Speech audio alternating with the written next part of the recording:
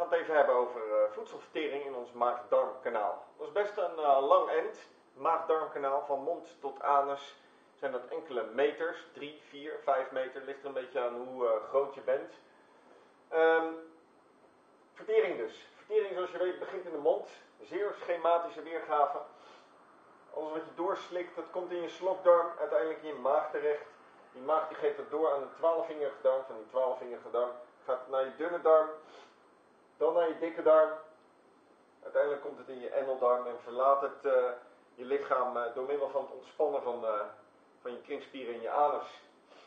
Van mond tot anus. In sneltreinvaart. In je mond bevinden zich tanden en kiezen om mee te scheuren, te malen, om alles te vermengen. Maar ook speekselklieren met het enzym amylase. Dat het een enzym is herkennen we aan de uitgang, of aan de achteruitgang ase. En vaak is het uh, de naam van het enzym ase plus het substraat wat het verteert. Het substraat is uh, zetmeel hier. Dan zou je denken, waarom niet zetmeelase? Nou ja, omdat het zieker is om de Latijnse vorm te kennen of te gebruiken. Amylum. Dus amylase is de zetmeelvertering. En als je kijkt van mond naar anus, dan heb ik hier mond, maag, twaalfvingerige darm, dunne darm, dikke darm. En hier het 100% substraat. Dan zie je dat die zwarte lijn is mijn zetmeelvertering. Want die zetmeel die verteert uh, mijn hele slokdarm door totdat het in mijn maag komt. En mijn maag heeft een zeer lage pH.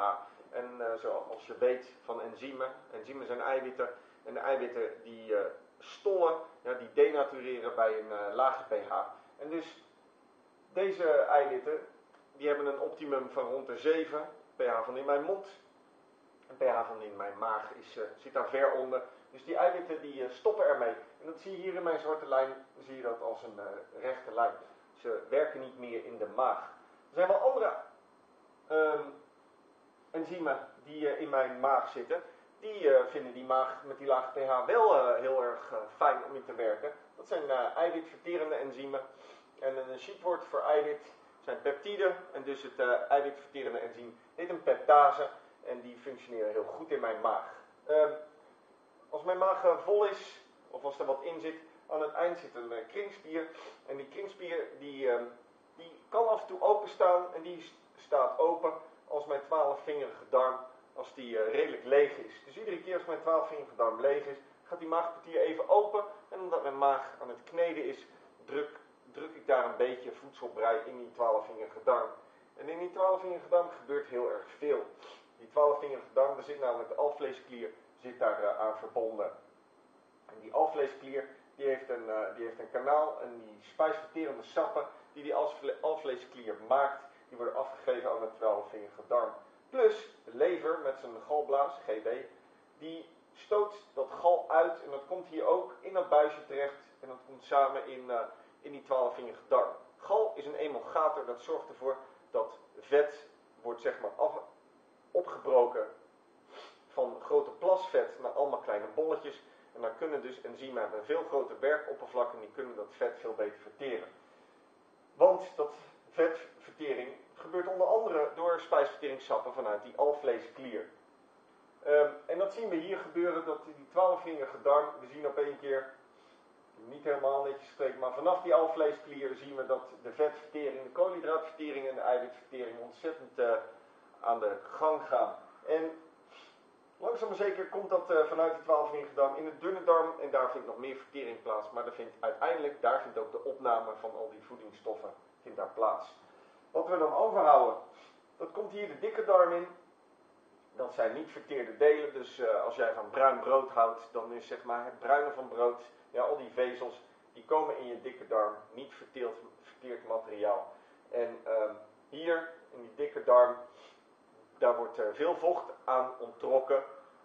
Um, en um, dat komt uiteindelijk in je endeldarm terecht, wat zeg maar de wachtkamer is voor je poep.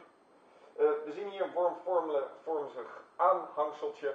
Op het moment dat jij een, uh, een ontsteking hebt hieraan, dan zal je dat ervaren als bijzonder pijnlijk. En dit noemen we dan wel eens de blinde darm, maar dat is helemaal niet waar. Het is alleen dit kleine stukje van je dikke darm is de blinde darm. Dit is niet je blinde darm, maar is het wormvormselig aanhangsel. En dat, heb je dan, uh, dat is dan ontstoken. is een rudimentair orgaan wat in de loop van, e van de evolutie, wat wij niet meer nodig hebben, omdat we ons voedsel zijn gaan koken en omdat we veel minder plantaardig materiaal zijn gaan eten. Um, uiteindelijk kwamen we, zoals ik zei, bij onze anus. En die anus is ook weer een kringspier die je dus, hè, je moet concentreren om die te ontspannen. En dat duurt even voordat we dit onder controle hebben. Pak een beetje een jaar of twee. Tegen die tijd kunnen we dat uh, gewild en kunnen we die, uh, die anus uh, kringspier laten ontspannen. En dat heeft dus best wel wat voeten in aarde.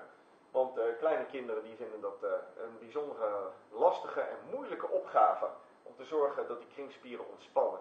Bij deze kringspieren in die maagkwartier hebben we dus, daar hebben we niet zoveel over te zeggen. Maar deze kringspier die, ja, die kost ons wel wat uh, moeite om die onder controle leren te krijgen. Uh, zover vertering van ons voedsel in uh, snel vaart.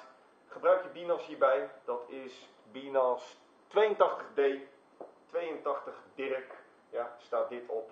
En uh, de tegenoverliggende pagina's staan alle spijsverteringssappen en wat ze doen. Heel veel succes!